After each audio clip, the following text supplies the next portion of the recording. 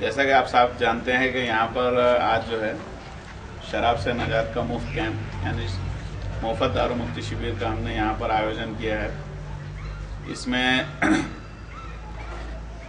जैसा कि आप जानते हैं कि शराब एक ऐसी चीज़ है जिसको कोई समाज में सही नहीं समझा गया। हम सब जो पढ़े लिखे हैं वो लोग समझ सकते हैं कि इस्लाम में शराब हराम, लेकिन इसके बावजूद लोग पीते हैं।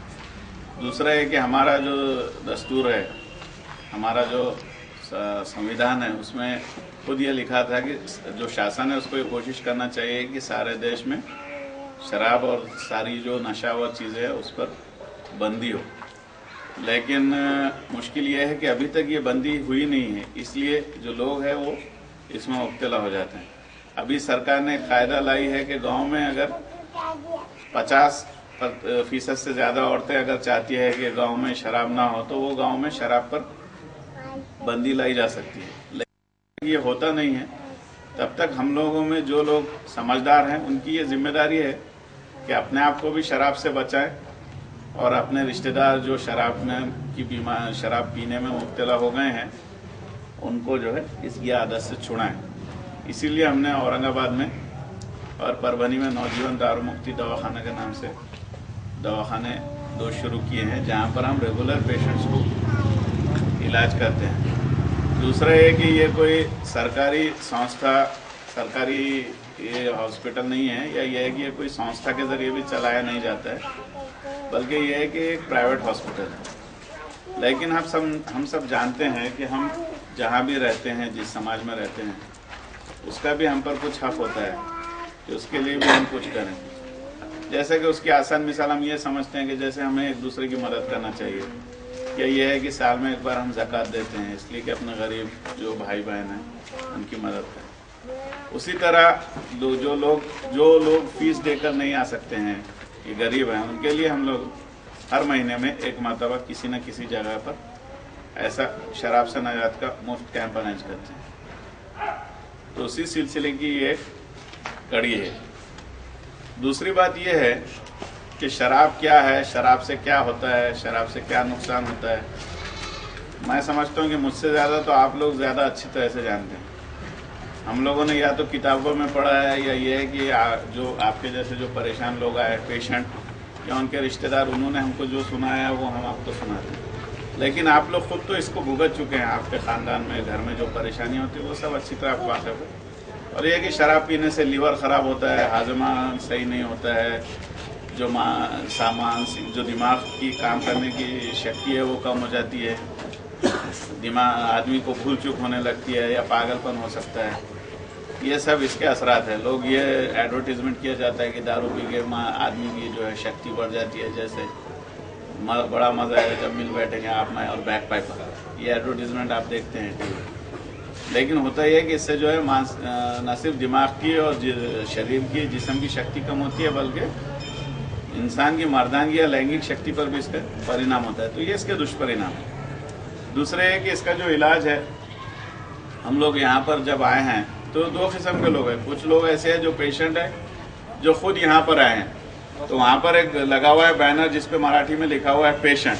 तो जो पेशेंट खुद आए हैं, पहले तो आप लोगों ने ये करना है कि यहाँ पर पीछे हमारे वॉल्टियर्स बैठेंगे। आप उनके पास जाके नोंदनी कराना है। जो पेशेंट आए हैं, उन्होंने उनके खुद के नाम की नोंदनी कराना है और जो पेशेंट नहीं आए, सिर्फ़ रिश्तेदार आए तो वो लोगों ने भी फॉर्म भरना है। उसमें ये लिखा हुआ मराठी में लिखा हुआ है कि भाई, मैं अपनी राज़ी खुशी से शराब छोड़ने के लिए तैयार हूँ और ये गोली के ऊपर अगर मैं शराब पीऊँगा तो मेरे को उल्टी होंगी और पेट दुखेंगे और सीरियस हो सकता है अगर सही इलाज नहीं कराया। नातेवाईक का भी वैसा ही कंसेंट है की मी स्वतः राज़ी मर्जीने हे गोळ्या घेते याच्यावर दारू पिला पेशंटने तो उलट्या होईल आणि उपचार करना। ठीक है? ऐसा है। तो जो पेशेंट है हम उसको एक गोली खिलाएँगे, उसके ऊपर वो ज़िंदगी में कभी दारू नहीं पी सकता। दारू पिया कि उसको उल्टी होंगी और प्रॉब्लम हो सकती लेकिन दारू पीने की याद ना आए, इसके लिए कुछ दवा गोली इंजेक्शन वगैरह लगते। वो कौन सी दवा गोली इंजेक्शन है, वो हमारा जो कागज़ है, उस पर सब लिखा हुआ है। कुछ गोली दवा जो हमारे पास अवेलेबल है, जो हमको सैंपल्स दिए, कुछ मेडिकल कंपनी वालों ने फ्री में, वो हम आपको फ्री में देंगे। जो दवाएँ हमारे पास नहीं है, वो बाहर से लिख के देंगे, जैसा एक टॉनिक है और एक इंजेक्शन है, वो आपको आपके बाहर से लेना होगा। और जो भी आपका फैमिली डॉक्टर है, उनसे आप इलाज कराना है।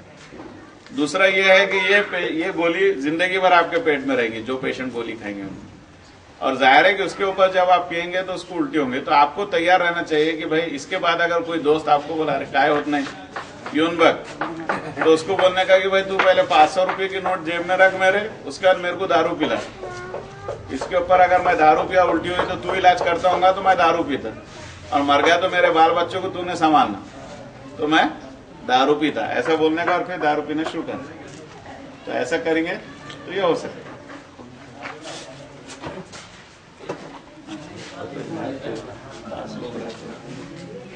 तो ऐसा करना है।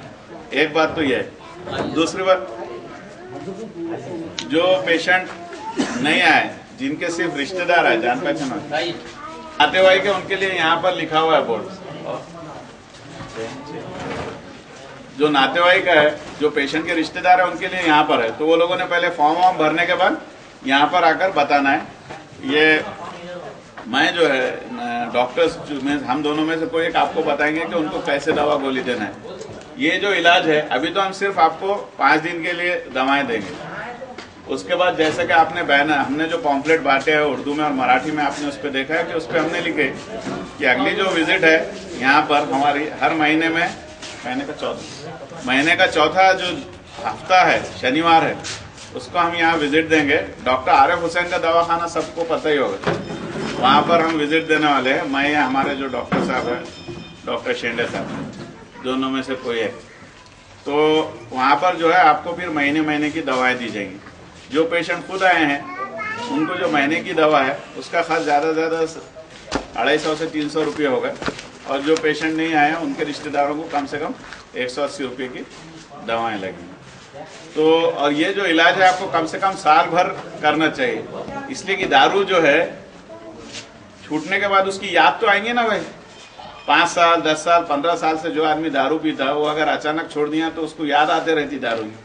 तो याद भुलाने के लिए दवा गोलियाँ देना पड़ता है जिससे आहिस्ता आहिस्ता आहिस्ता करके उसको दारू की जो याद आ रही है, कम हो जाती है।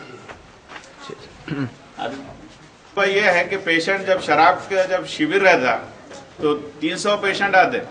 लेकिन जब पहली विज़िट रहती तो उसमें 50 ही लोग आते।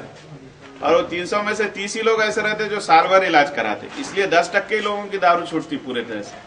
हालाँकि हम इतना पैसा खर्च करके इतने पॉम्फलेट बांटते, तीस हज़ार पॉम्फलेट बांटते, लेकिन होता ये है कि लोग पूरी तरह इलाज नहीं कराते। तो आप लोग अगर ये चाहते कि पेशेंट की सौ टक्के आपको फ़ायदा हो तो आपको कम से कम साल भर तक इलाज कराना चाहिए। ज़रूरत पड़े तो और भी करा सकते हैं, लेकिन आपको ये करना पड़ेगा। अगर आप दिल से पक्का इरादा करके, अगर आप पेशेंट्स की दारू छुड़ाने के लिए अगर आपका पक्का इरादा है और आप मेडिसिन वगैरह बराबर देंगे तो इनशाला आपकी शराब बिल्कुल छूटेगी। दूसरा है कि शराब पीने के बाद आपके घर में जो शैतानियत, शैतान घुस जाता है आदमी के दिमाग में, और जो घर में डिस्टर्बेंस होता है, वो डिस्टर्बेंस इंशाल्लाह आपके उसमें कम होगा। दूसरा ये है कि जो लोग नातेवाईक है उन्होंने ये बात याद रखना है कि उन्होंने भी कोई फैमिली डॉक्टर को पहले ही मिलके ये बता देना है कि भाई ये गोली के ऊपर अगर पेशेंट ने शराब की और उल्टी वगैरह हुई तो हम आपके पास लाएँगे, उस वक्त आपने उसको इलाज करना है। हमारा जो पेपर रहता है, उस पर सब लिखा हुआ रहता है कि पेशेंट ने शराब किया उसको क्या तकलीफ़ होती है और क्या दवा गोलियाँ देना है। उस हिसाब से अगर आपने दवा गोलियाँ दिए तो पेशेंट की उल्टी वगैरह रुक जाती लेकिन उसके बाद जो है, उसको एक किस्म का डर बैठ जाता है कि अब मेरे को शराब नहीं चलती तो फिर वो पीता नहीं तो ये सब आपको करना है। इसके बाद भी जो है आपके दिल में क्या डाउट्स है, क्या है, वो पाए इसके बाद डॉक्टर शेंडे साहब बोलेंगे, उसके बाद भी आपके दिल में डाउट्स वगैरह है तो आप जो है पूछ सकते हैं। Thank you